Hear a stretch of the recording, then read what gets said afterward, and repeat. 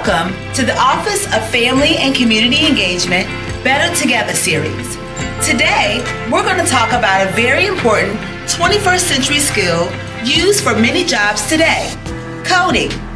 Coding is language used to create apps, websites, software, and more.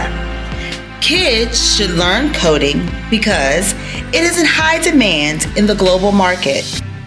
It provides a competitive advantage in the college and job circuit. It enables students to have a better understanding of the world around them. It creates creativity of the mind and it improves problem solving. Virginia realized the growing importance of computer science so much that it became the first state to mandate computer science in all public K 12 classrooms. So why not code? I like coding because it teaches us about science and we get to use computers. I like coding because it's fun and it can be educational at the same time. Coding has opened our students up to a world of new discovery.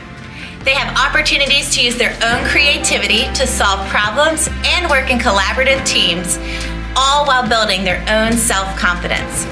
In Chesapeake Public Schools, we use a variety of activities such as Scratch, Code VA, Legos We Do, our Makerspace, Ozobots, and Spheros, and so much more. The students have also learned that the job industry is booming with coding opportunities. Many doctors today are using code to combine computer science with medicine to tackle many of today's healthcare problems. Yes, these coding apps help doctors treat patients. Without even stepping into the doctor's office or the hospital. Did you know as a farmer, I can use coding to run my sheep and cattle farm? Farmware, a type of software, will help me record information about my animals and crop performance. Wow, that's amazing. So you see are farming. It's amazing how excited our kids are about using technology, especially with coding. It has really helped some of our students shine. Lawmakers in Virginia realize with all the advancements in technology and the highest density of computer science jobs in the country, it's the nation's backbone for future STEM innovations. We are paving the way for future leaders like Katherine Johnson, a retired NASA mathematician. And for entrepreneurs, Chris and Rebecca Dovi, creators of Code VA.